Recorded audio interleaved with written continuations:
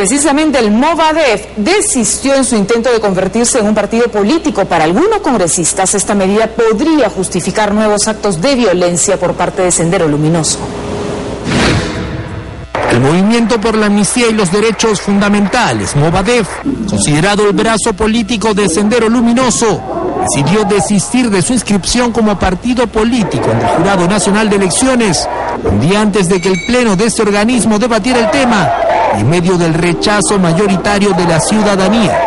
A través de este comunicado, los integrantes del Movadef aseguraron que existe una persecución política en su contra, la cual tendría su raíz en una supuesta militarización del gobierno del presidente Ollanta Humala.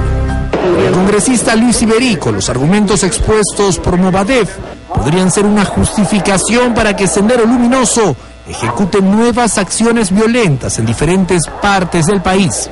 Y, y, si hablan de militarización, si hablan de militarización del Estado, eso podría ser utilizado para justificar una reacción también violenta.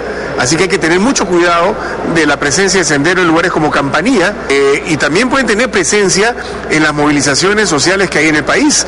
Cuidado con la marcha por el agua y estas cosas pueden ser utilizadas por Sendero Luminoso. El presidente del Congreso, Daniel Abugataz, Movadef se sintió acorralado y por eso decidió no insistir en lograr su ingreso a la vida democrática. Eh, claramente acorralados, que no hay posibilidad alguna que su pretensión de escribir un movimiento político terrorista dentro del régimen democrático peruano, eso no va a funcionar.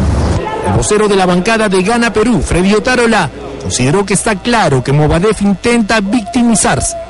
Eh, victimizarse para confundir a la población y presentarse como democráticos cuando nunca lo fueron, cuando no han abdicado de posiciones violentistas que ocasionaron tanto derramamiento.